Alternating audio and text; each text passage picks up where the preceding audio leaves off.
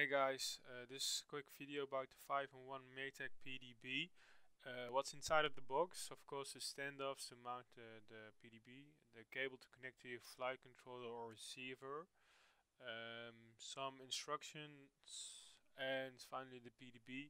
Uh, what makes this PDB special? Um, mostly the fact that it provides 5 volt and 12 volt uh, out. Um, here's a quick location of the 5 volt output and uh, let me find the 12 volt 12 volt is there.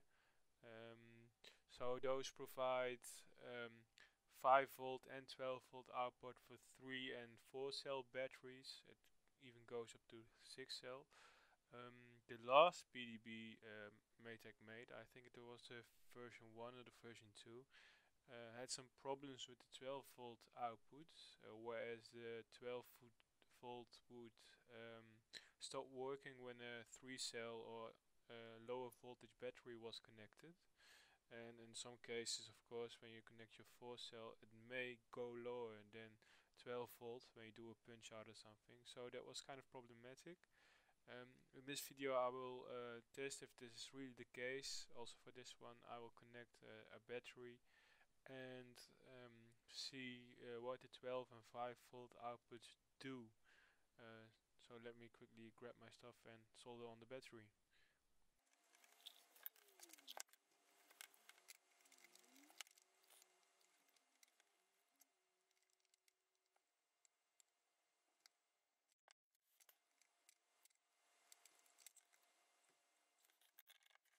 So I've now uh, connected the power lead, just really quick and dirty actually.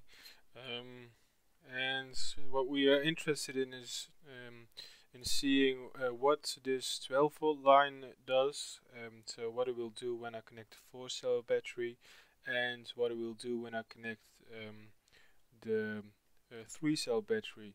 So uh, on the 4 cell we should see that the 12 volt line actually provides 12 volt um, but on the 3 cell um, on the previous PDBs we saw that it doesn't provide any voltage at all.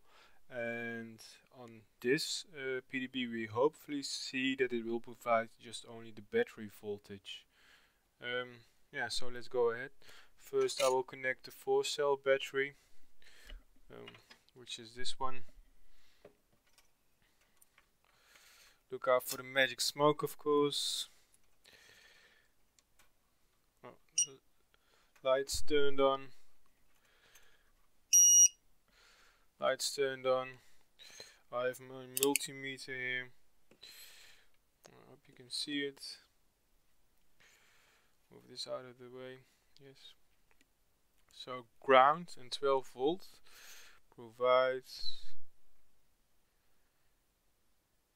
11.8 uh, which is alright. I mean it's no problem you can power your cameras and your VTX from that and it should be no problem.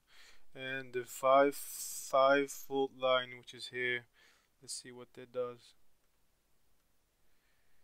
Yeah, it provides 5 volts so that's alright now let's see what happens when we connect a 3 cell battery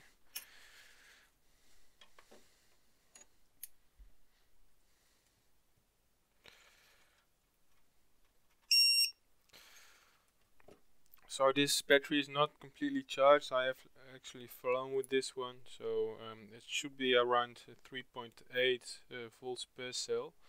And we can actually measure this. So it's around 11.4 uh, uh, volt. Now let's see what the 12 volt line does. Uh, switch it, this around. You still see it? Yes you can so this is great, it provides 10 volts, um, which is okay. On the previous version it would have provided nothing at all, which is bad of course.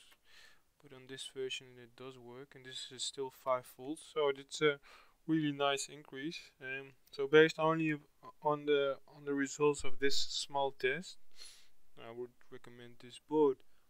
Now, um, I do have to find uh, uh, flight controller and um, set it up in order to make the other functions of this uh, PDB work. Um, I will be doing this in another video. Okay, uh, thank you. If you have any questions, feel free to reply.